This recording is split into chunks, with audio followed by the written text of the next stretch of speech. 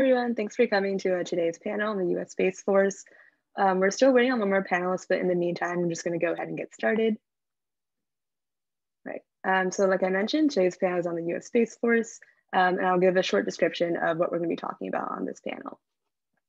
So despite bearing the brunt of jokes from late night comedians and a Netflix series of the same name, the Space Force is tasked with the serious mission of protecting US assets in Earth's orbit and conducting space operations for other military branches. Today's panel will cover the purpose of the Space Force, along with the pros and cons of moving space operations from the Air Force to an independent branch of the military. Our first speaker joining us today is Dr. Andrea Harrington, who serves as Department Chair of the Department of Space Power and Director of the Schriever Space Scholars Concentration at Air Command and Staff College. Dr. Harrington has significant experience with the emerging field of international space law and has conducted research for organizations like the International Civil Aviation Organization and the International Society for the Advancement of Space Safety. We are also joined, um, hopefully, by Dr. Peter Hays, who advises the Office of the Assistant Secretary of the Air Force for Space Acquisition and Integration, while also serving as an adjunct professor at George Washington University's Space Policy Institute. Dr. Hays has had direct experience in developing and implementing major space policy initiatives in addition to his 25 years in the Air Force.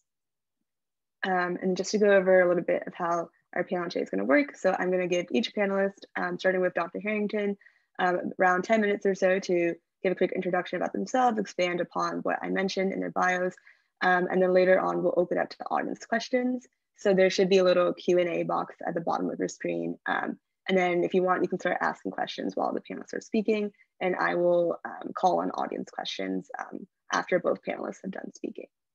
Dr. Harrington, would you like to kick us off? Sure. Thank you very much for your kind introduction. Uh, and thank you for inviting me to take part in this conference today. I appreciate the opportunity, uh, particularly given the strange times that we're living in. Uh, virtual conferences actually give an opportunity to access audiences that we otherwise might not be able to. And so uh, I'm honored by the opportunity. So, as Sabrina mentioned, uh, I'm the director of the Schriever Space Scholars Concentration at Air Command and Staff College. So, if you're not overly familiar with what that means, I'll start by kind of walking you through that. Um, so, Air Command and Staff College is part of Air University, which is a professional military education uh, operation that, that we undertake. Uh, it's degree granting. So, at the intermediate and at the senior level, IDE and SDE, uh, we grant master's degrees as well as fulfilling the accreditation requirements uh, from the Joint Staff. And so Air Command and Staff College is the IDE piece, Air War College is the SDE piece, the senior piece. Um, and so at our level at ACSC, we've got primarily O4s, which are Air Force and Space Force majors, and equivalents from sister services. Um, given that this conference is all about civil relations, I do want to point out that we do get civilian students in our classes as well at Air Command and Staff College and at Air War College, um, and that those students provide an important diversity of perspective in the classroom and bring that back with them to the government departments that they work in when they when they go back after they complete the process. So the Schriever Space Scholars at ACSC started in 2018 or started taking students in 2018. Uh, it was kicked off in 2017. Uh, General Raymond, who is now the Chief of Space Operations for the US Space Force, was the driving force between getting the concentration started in order to develop folks with a real space expertise coming out of Air Command and Staff College. Um, and so instead of teaching Air Power 1 and Air Power 2 as part of the core curriculum, which the rest of the ACSC students um, all take, our students take Space Power 1 and Space Power 2.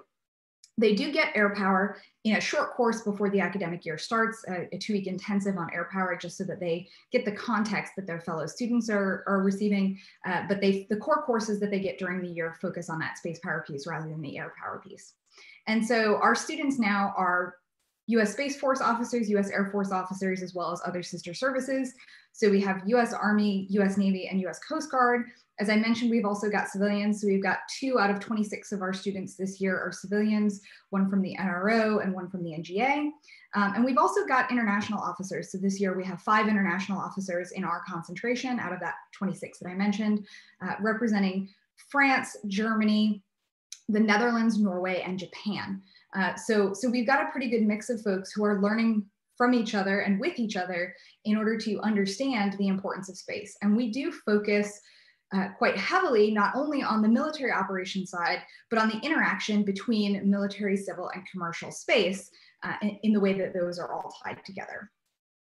So my area of expertise, um, as Sabrina also mentioned, is really on the international law side.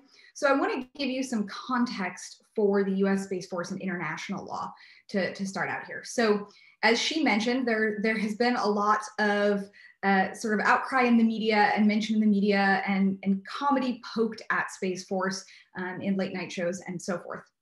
And one of the things that happened very early on were, was this outcry that uh, US Space Force is illegal under international law. This is ridiculous. How can this happen? And the reality is, it is not illegal under international law.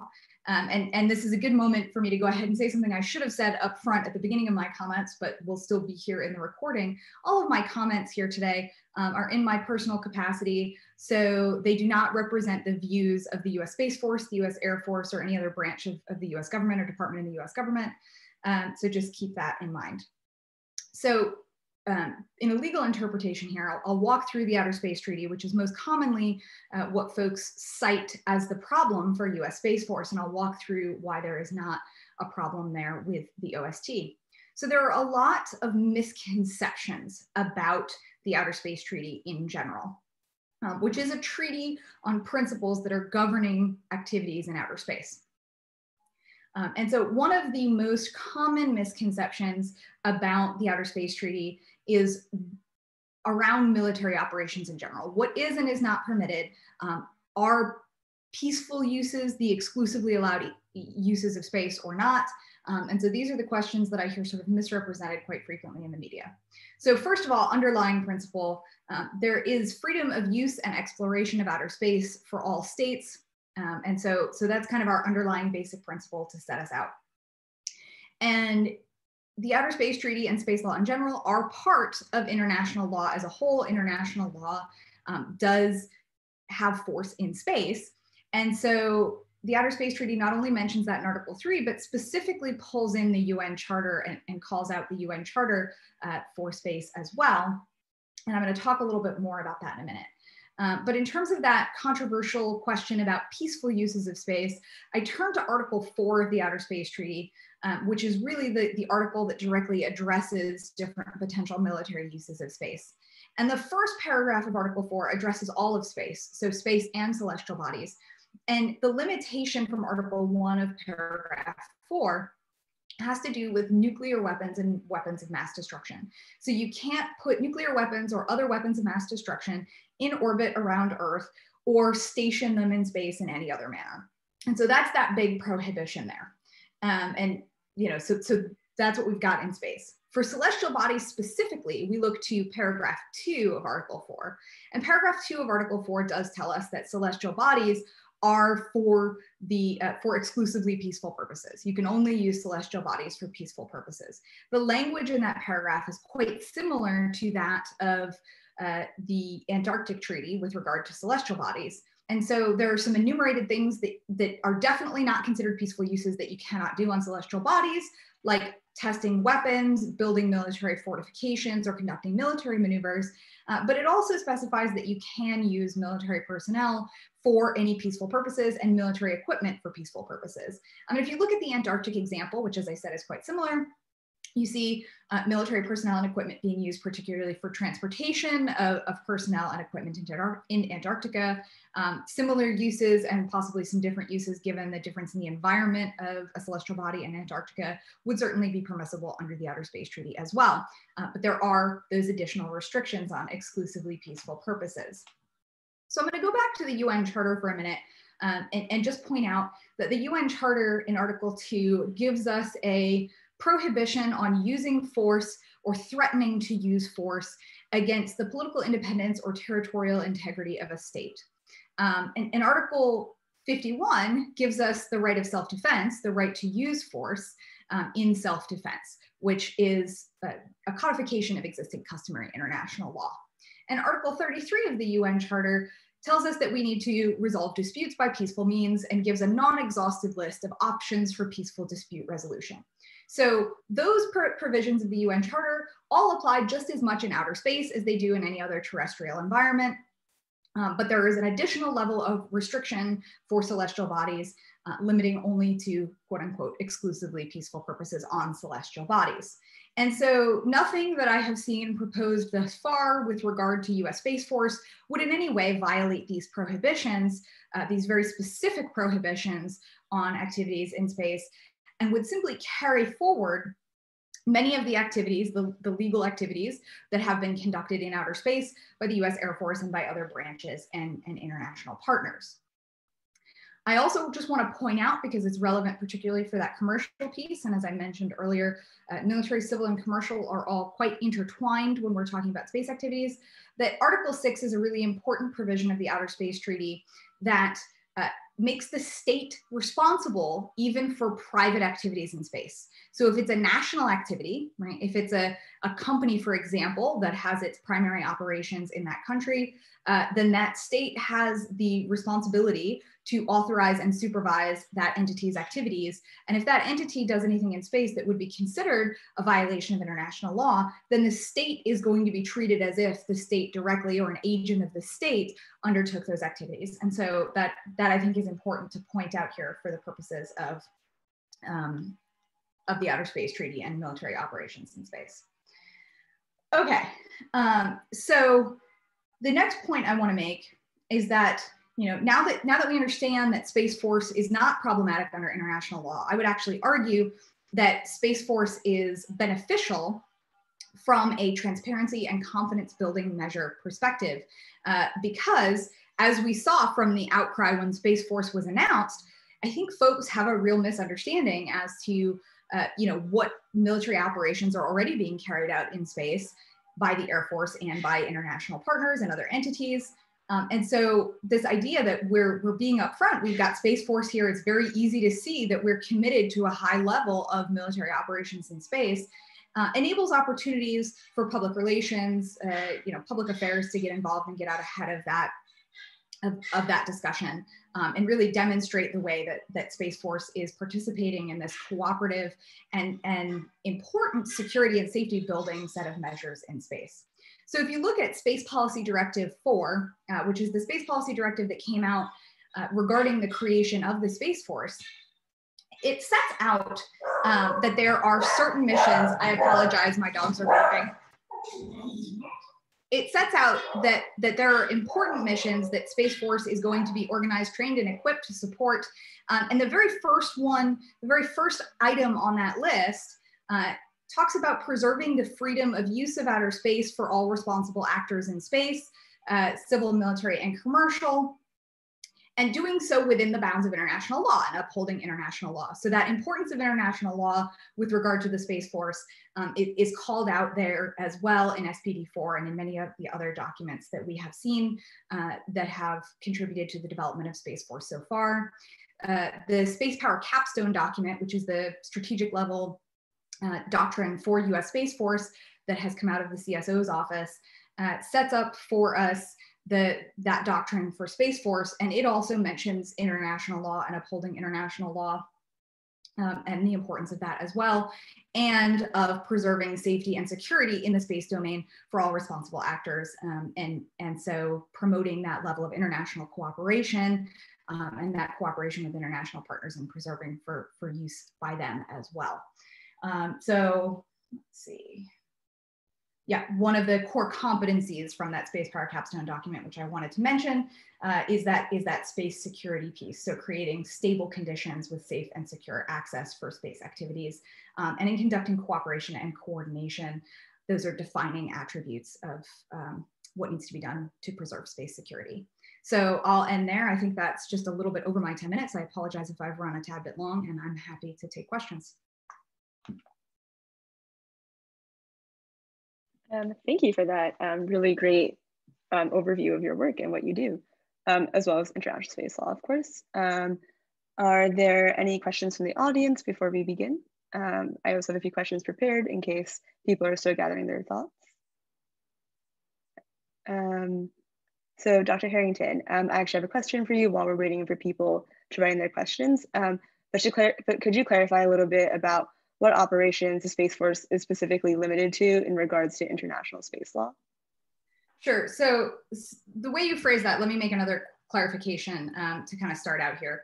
So US Space Command um, is, is the command that will actually carry out missions related to outer space. So US Space Force has been designated to organize, train, and equip largely in support of US Space Command's missions, but in support of any other space missions um, that may be required by other commands as well. So it's really US Space Command that is going to be carrying out any of these missions, not directly the US Space Force. The US Space Force provides the personnel and equipment to support that. And so if you were gonna ask any questions about legality of particular activities in space, you're more likely to be asking questions about the legality of US Space Command actions in space rather than directly US Space Force actions, um, because the US Space Force, as I mentioned, really is set up to organize, train, and equip there on the front end. Um, and could you clarify if you had a particular question, if there were like a certain set of missions or a certain type of missions that were uh, that uh, under international law that, that might be problematic or that would be okay? I, I wasn't really clear on what you wanted clarified there. I'm sorry.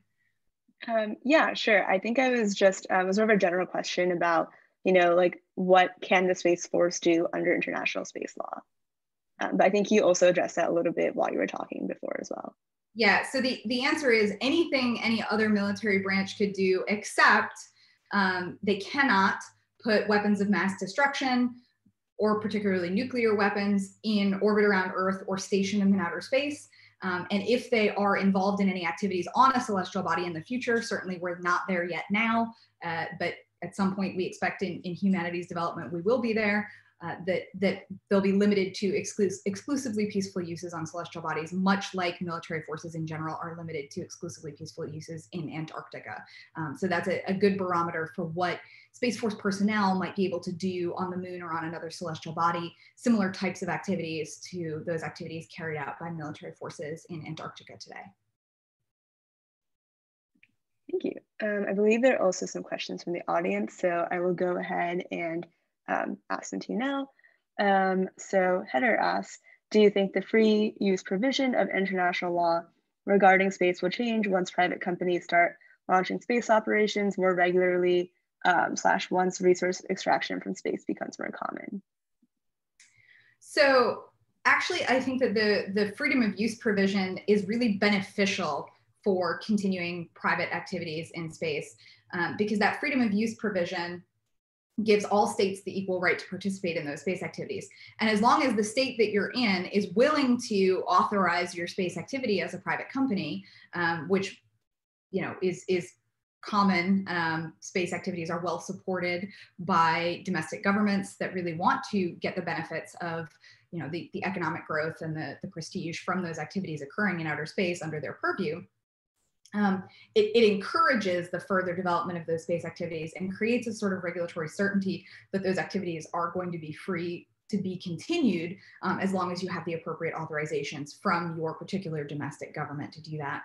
Um, and so uh, I would argue that that's actually a beneficial provision and not a um, and not a detractor. Now, you might be talking when you say about space resource use and extraction, you might be talking about uh, potential limitations that you might see under Article 2, which we didn't talk about in my opening comments, which is the non appropriation provision. Um, you're not allowed to claim territorial sovereignty over any area of outer space or a celestial body. And so there are some open questions as to what the limitations really are under the non appropriation principle. Um, and, and, there are some folks in, in, the minority at this point, but uh, there is a strong minority that would argue that appropriation of space resources would run afoul of the non appropriation principle. Um, I, on the other hand, um, and, and, I believe the majority at this point uh, of, of scholars and the majority of states in UN COPUOS, certainly not all, there are, there are some detractors, but the majority uh, would say that it is not a prohibited use under Article 2 under the non appropriation principle for a few reasons. Um, so, one, you're severing the resources from the celestial body. So you're not saying this area of the celestial body is mine. And I get to keep it and I get title to it, you're taking something from it and moving on and saying, hey, I've severed this resource, I've done the labor to get access to this resource. Um, and so now I'm claiming this resource, but not actually the celestial body or not actually space itself. There are analogies that can be made to this on Earth, like removing fish from the ocean or removing other sorts of uh, non, non-moving like fish um, or not necessarily renewable resources from a particular area in terms of, of mining rights. And so there are parallels to be made there. The argument that I also find very compelling is that under the Moon Agreement, which is the more restrictive of the two agreements, and the United States is not party to the Moon Agreement, uh, neither, neither are the majority of the major spacefaring states. Uh, so Russia, China, UK, not part of the Moon Agreement either. Uh, but the Moon Agreement does allow for the extraction and use of space resources.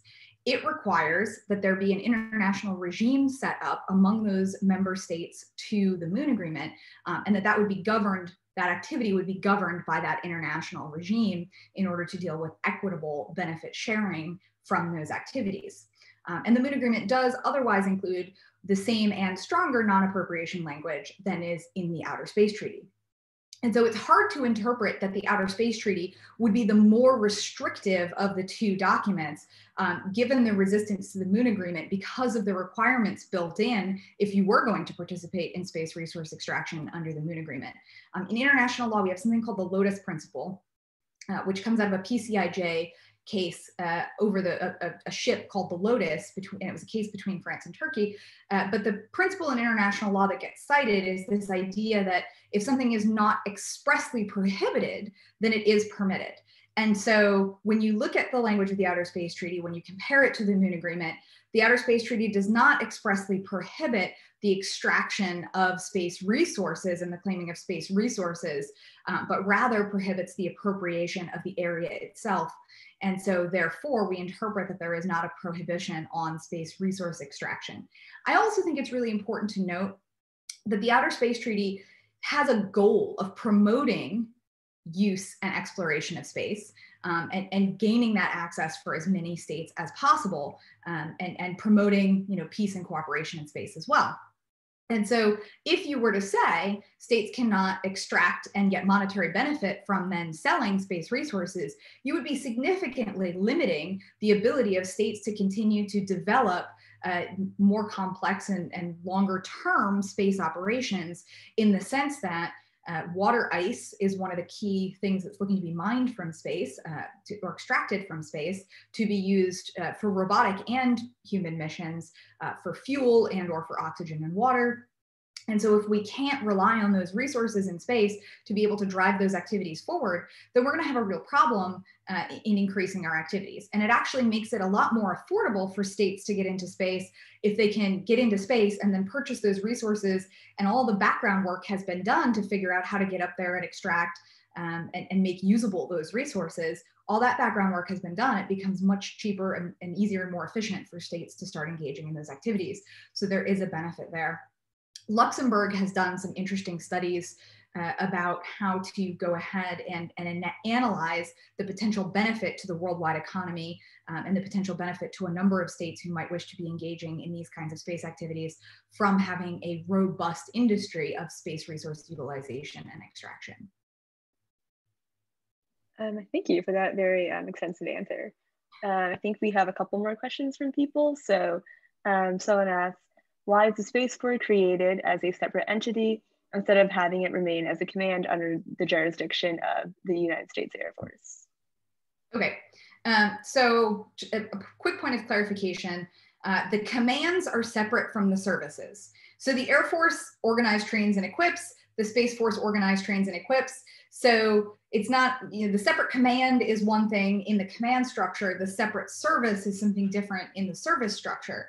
Um, and the argument for creating a separate space force that is not part of the Air Force has to do primarily with that organized, train, and equip piece, which is to say, there's been a lot of criticism over the years as to how the Air Force has handled space acquisitions, uh, in particular, in terms of getting the, the space systems developed and, and put in place that we need to have uh, from a national security perspective, and that maybe the Air Force model for acquisitions itself might be problematic for space, but additionally, that the Air Force, by nature of being the Air Force, is going to prioritize Air Force type assets over space type assets. Um, and so space needs to be able to advocate for itself from an acquisitions perspective.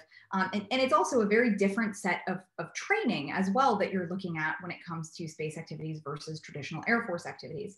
Um, and the, the, service cultures can be quite relevant there as well. So if you think of the Air Force culture, uh, you know, Sabrina mentioned the Netflix series early on uh, as, as part of the comedy that has arisen about Space Force. But if you watch that Net Netflix series, one of the things that they exaggerate, but they, they point out um, is that difference between Air Force culture and Space Force culture, where Air Force solutions tend to involve bombing or fighter planes and fighter pilots, right? There's a cultural distinction there uh, between what we would expect a space force to really be training people to do and to be thinking about um, and preparing for and planning for. And so when you're talking about the training piece, that separate Space Force training allows development of a culture that is going to point towards the outcomes that the Space Force is trying to achieve, a different set of values, a different sort of expectations for what a Space Force needs to do from that expect, set of expectations, which is quite different and reasonably so for an Air Force. Um, thank you. Um, so I think we have some other questions from the audience. Um, so someone asks, do you think space international law will change to reflect countries' increased military presence in space? Um, I think they also clarified that um, in about that, and that their question was in reference to the recent uh, Russian nesting doll satellite test. Um, is there any push towards rewriting space law to address defense from aggressors in space? Okay, so in, in 2017, there were some hearings that were hosted in, in Congress uh, led by Senator Ted Cruz, to ask the question as to whether or not it would be a good idea to either withdraw from the Outer Space Treaty or open the Outer Space Treaty up and, and, try to renegotiate some provisions. And there were a couple of days of those hearings where experts came and spoke about the Outer Space Treaty and about space operations. And at the conclusion of those hearings, uh, it was decided we're good. We're going to stay in the Outer Space Treaty. We're not going to try to open it up or make any changes to the Outer Space Treaty itself. That being said, um, and, and, I agree with that assessment wholeheartedly. I think the Outer Space Treaty does a whole lot more good uh, than any restriction on, on freedom of operation, et cetera. Um, I think there is room for additional development in addition to the Outer Space Treaty, right? Without without altering the underlying Outer Space Treaty, uh, to create some norms for responsible behavior in space, and that you might see a push back towards something like a code of conduct that was proposed by the Europeans, uh, just in terms of conducting safe operations. One of the concerns about the, the nesting doll stories that you mentioned uh, was that if it made a close approach, you know, is it safe to approach, uh, you know, get into that kind of proximity with other satellites? Um, that's a that's a safety concern, right, for the operation of satellites. So if you had a code of conduct, uh, you know, that were kind of rules of behavior or rules of the road for space, then you would have an idea of what's considered a safe distance to approach um, and, you, and you could consider such norms uh, to fall within the due regard provision in Article 9 of the Outer Space Treaty, where, where states are intended to act with due regard for the space activities of other states, right? So your freedom of use and exploration is limited by the requirement that you act with due regard for other states so that everybody can fully exercise their own freedom of, of use and exploration. I call it the prime directive uh, because I am admittedly a big Star Trek fan, uh, but I've heard other international space law experts refer to that as the golden rule of space. Um, so, so that is one way to deal with that particular problem. Uh, Russia and China proposed the PPWT, uh, a treaty on the prevention of placement of weapons in space, uh, a couple of times through the Conference on Disarmament at the UN. Um, but that treaty has the, the treaty is it's not in force, right? It was a draft treaty that was submitted, um, and and it has not received wide enthusiasm or wide acceptance. And there are a couple of reasons for that. Uh, one is that there was not an included definition of what would be considered a space weapon in terms of that placement in outer space. Um, and as you probably know, anything that can maneuver in space can potentially be a weapon, can be used as a weapon. And so, with the emphasis on dual use capabilities in space, it would be really difficult to define what exactly is a weapon uh, for the purposes of such an agreement. And then the second problem is that it did not take into account direct ascent anti-satellite weapons uh, that could, could go from the ground to space to take out the capabilities of a satellite um, because you wouldn't be placing that weapon in space. So that treaty on placement uh, of, of, weapons in space would not affect that. Um, and we've seen tests from, from multiple states uh, in, in 2019. Uh, India tested a direct ascent ASAT weapon. Uh, China in, in 2007 had a test that uh, actually created quite a lot of debris. Um, and so we've seen those kinds of capabilities as well, and it wouldn't be addressed by that document. I don't think we are going to see uh, a, a, treaty that specifically limits uh, particular military uses of space or particular weaponization in space. I do think we might see, probably not a treaty, probably not binding law, but a set of norms, a set of guidelines, what we call soft law, addressing general safe operations in space or responsible behavior in space, however you want to you want to phrase that term, that would include military operations, but wouldn't specifically be addressing these kinds of military operations. Um, thank you. So I think we have some more questions. Um, someone asks, do you think that Space Command and Space Force will maintain the same approach slash goals under Biden as opposed to Trump? So, so that's an interesting question. And I think in general, and I, I, don't think a lot of people really look too closely at this, but I think in general, we have seen a lot of continuity in US space policy, um, even coming you know, from the Obama administration into the Trump administration. There, there has been continuity and there has been an emphasis on that international law piece.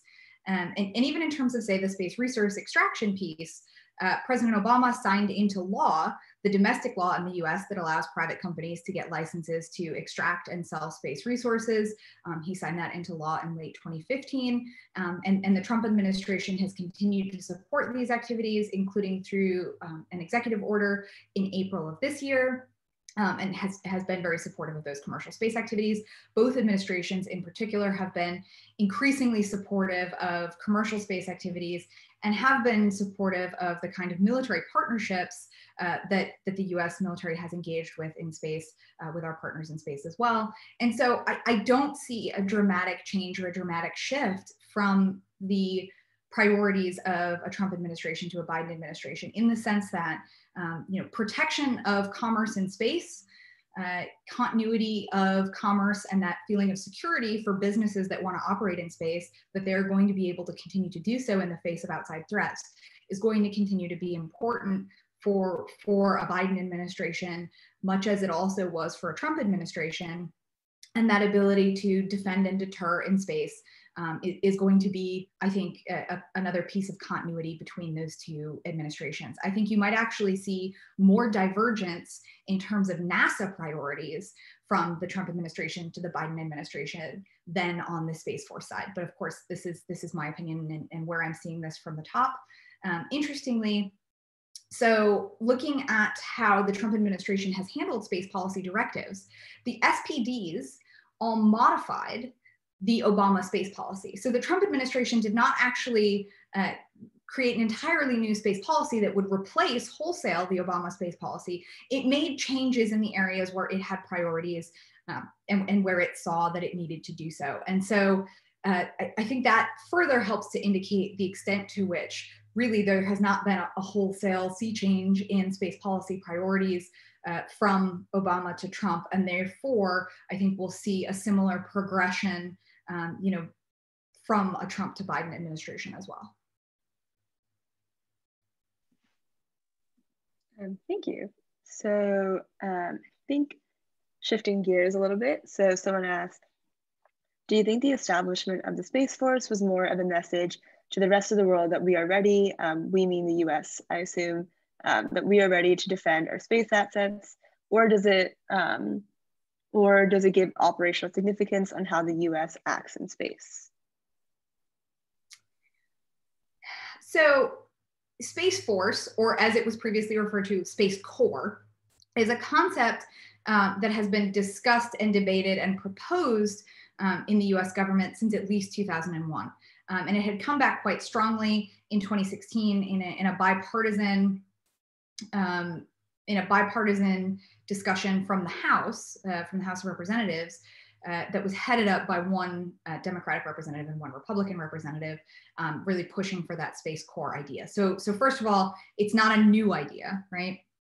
Um, I think that really the shift to Space Force, separating from the Air Force, signals not necessarily so much a change in operations, but uh, really emphasizes the extent to which the US understands that it needs to make space a priority, is dedicating the resources and the personnel and the attention in, in order to make space a priority, right? So it's not that I think that the goals or the operations will significantly change or the functions will significantly change, but I think it's a signal to say, look, we're taking this seriously. We understand as more countries and more private entities get more involved in space activities and there are more space assets out there uh, all in orbit at the same time and out in space at the same time that this is going to continue to be you know a major question of security and stability not only for for military space uses but also for civil and commercial space uses and securing that domain is really important. And so now is the time that we can say you know we really need to emphasize that focus on space and and those related missions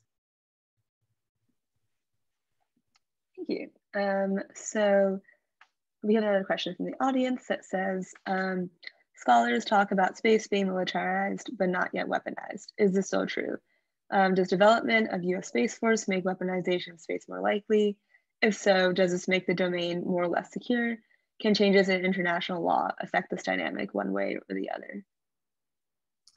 Um, so I, I do not think that the creation of US Space Force changes the dynamic as to whether or not space will be weaponized um, I, I, think from a sort of messaging perspective, um, I think that it's important that we get out ahead of Space Force messaging and what's the purpose of the Space Force um, and how is this, how are the, the assets of the Space Force in terms of those personnel that are trained and organized and the equipment that's provided to them, how is that going to be used in outer space?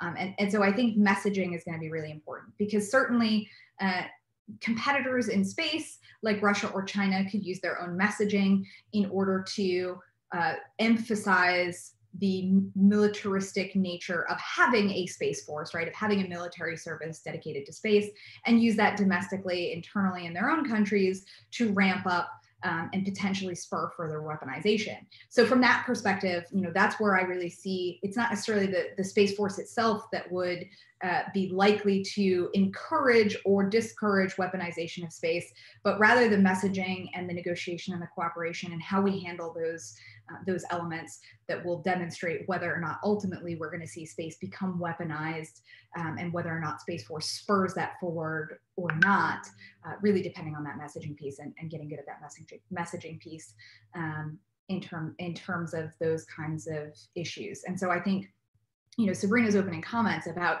the kinds of attention that Space Force has gotten in the media uh, don't necessarily lend themselves to that positive message that were that would be really beneficial for space force. And so you know i mentioned the opportunities for space force to actually enhance transparency um, and work on confidence building with other other countries um, whether they're international partners or whether they're competitors.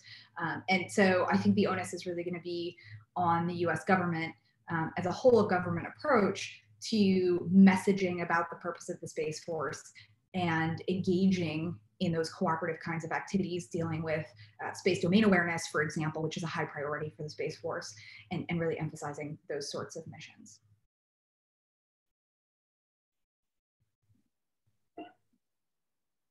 Um, thank you. So I think we have, okay, so have a couple more questions. So someone asks, um, it seems like the Space Force is going to follow a NASA style model in terms of acquiring new technologies um, specifically via direct private public partnerships. Is this a good idea and what kind of effect does it have on the US military industrial complex? This is where I really wish that Dr. Hays uh, had joined here for the panel because he is an acquisitions expert and I am very much admittedly not. An acquisitions expert. Um, and so I want to avoid misinforming the audience uh, about those acquisitions questions. Um, in general, you know, speaking from a broad perspective, I think the public-private partnerships will be beneficial in terms of developing our space industry and our space capabilities in the United States, because those um, those partners who are going to work with the Department of Defense on creating those assets um, are going to have their own gains from doing so. They're going to gain expertise, and there will be lots of spin-off technologies that become available uh, more broadly at, in the economy and that help to continue to develop not only the space industry but other industries. So I think it's very beneficial from that perspective. But in terms of the particulars of the acquisitions process, um, I'm sorry to disappoint, but that's that's not my uh, that's not really my area, and I don't want to kind of go go off of the uh, the narrative there. Yeah, of course, no worries.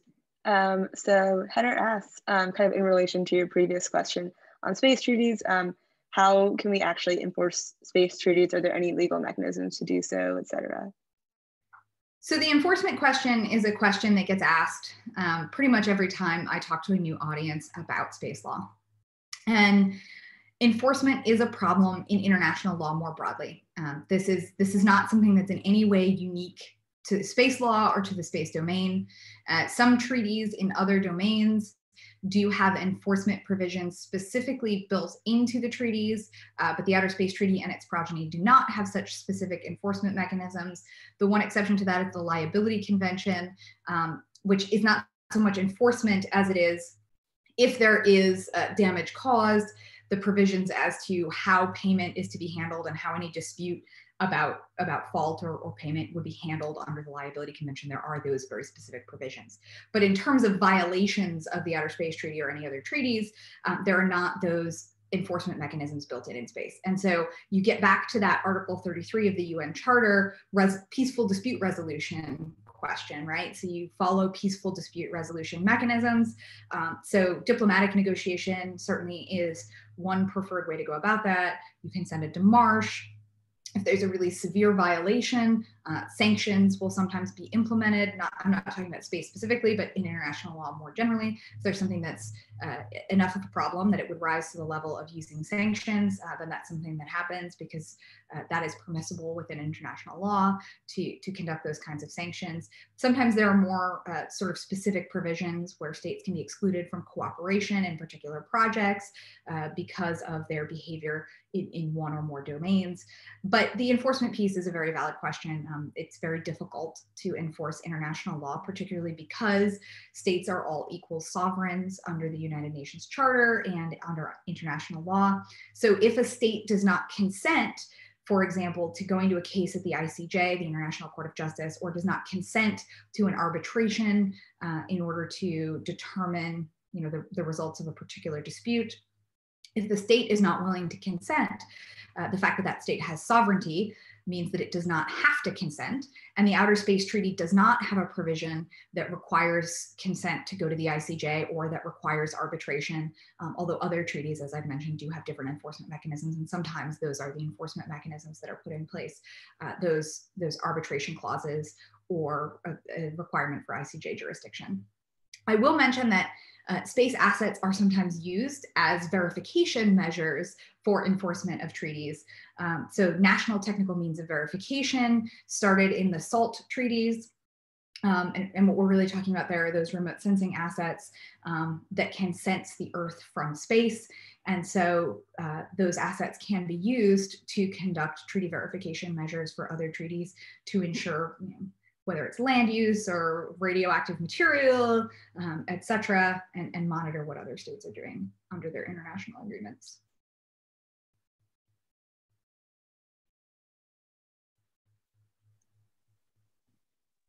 Um, thank you. So we have two more questions. So um, Connor asks, are there any implications of Space Force on civilian space agencies like NASA, either through co-opting space funding or interfering with scientific research? Uh, so I, I don't see there being a danger of co-opting NASA funding. Um, I think that NASA's funding levels will be what NASA's funding levels are going to be regardless of, of Space Force. Space Force is being seen as part of the defense budget um, and NASA is certainly certainly separate and NASA has separate functions. And so I don't see there being a, a problem from a NASA budget perspective outside of there being, you know, budget constraints across across the whole of government. In terms of scientific exploration, um, I think Space Force actually bolsters the possibilities for NASA to continue to carry out its activities um, in promoting that safety and security in space for that environment for NASA to continue to carry out those activities, uh, which certainly are activities within the purview of international law and that are encouraged. Um, and in fact, having additional US presence in space means you might be able to have cooperation between Space Force and NASA on some of these activities uh, in an ongoing way that would be beneficial to, to both groups. And so I don't see there being a problem for NASA um, or anything substantially changing about NASA's mission as a result of the creation of US Space Force.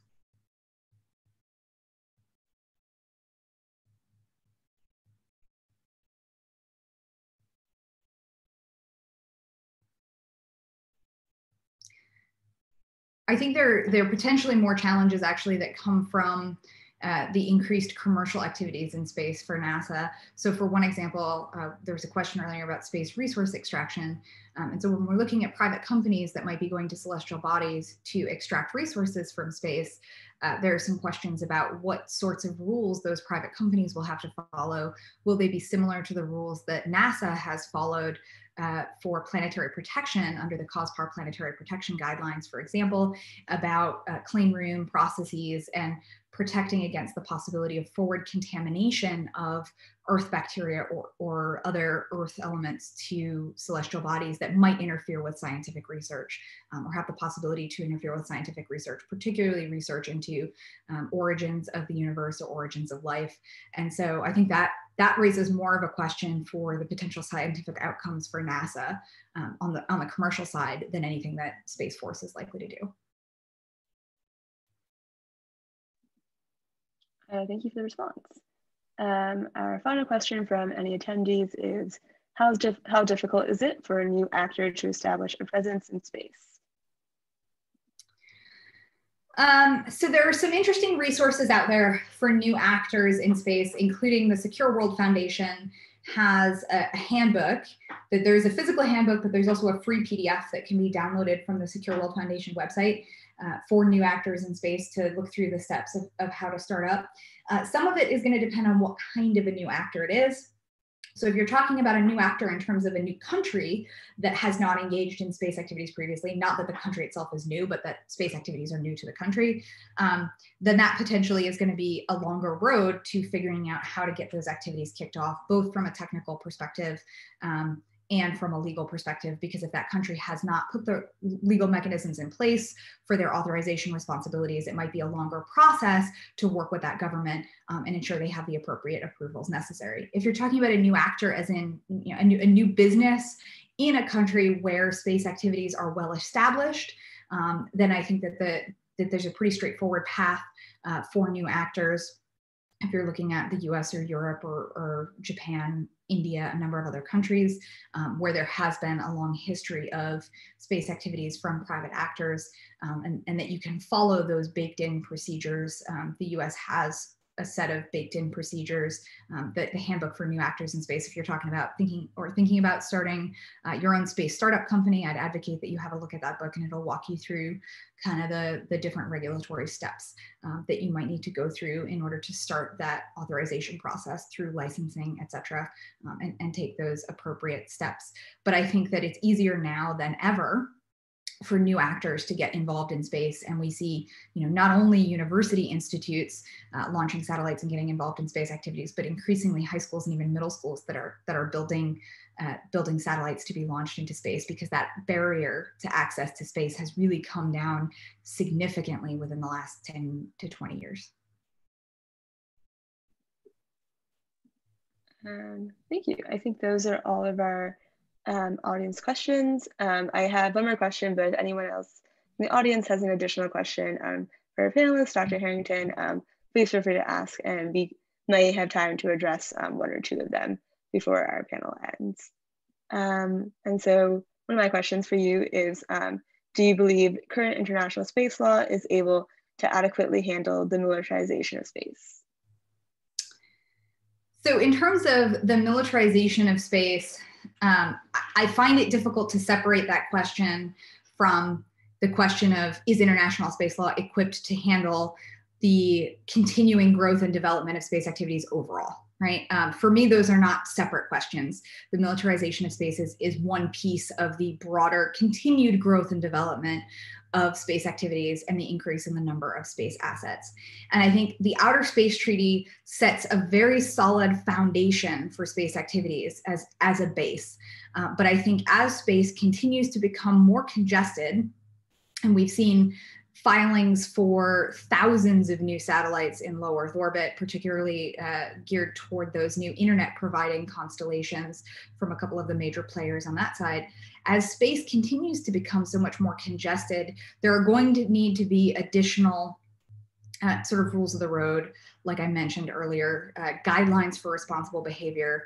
They don't necessarily need to be put in their own binding treaty that's going to be ratified by all states, uh, but they do need to be negotiated at the international level and have a general level of agreement from states such that they can be implemented in a way through domestic law with that uh, authorization and supervision requirement that's already built into the Outer Space Treaty for states to maintain responsible behavior in space to avoid collisions, to avoid major debris creating events, to ensure uh, smooth orbital insertion of satellites that are going to be going up in the future um, to to make sure that that freedom of use and exploration is preserved. Um, and I think that one way we can use international space law to enhance the possibilities for carrying out those, those objectives is that due regard provision in Article 9, um, and, and, really having that conversation at the international level about what does due regard mean? How do we act with due regard for other actors in space and ensure that we keep the space environment usable for all of those states who are legally guaranteed that freedom of access and use. Um, thank you. I think that um, just about concludes our panel. Um, apologies to both Dr. Harrington and our attendees that our other panelist, Dr. Hays, wasn't able to make it um, and be here with us today. Um, but thank you, Dr. Harrington, um, for you know off, for um, offering your expertise for this panel. We really appreciate it here at Allies for sure.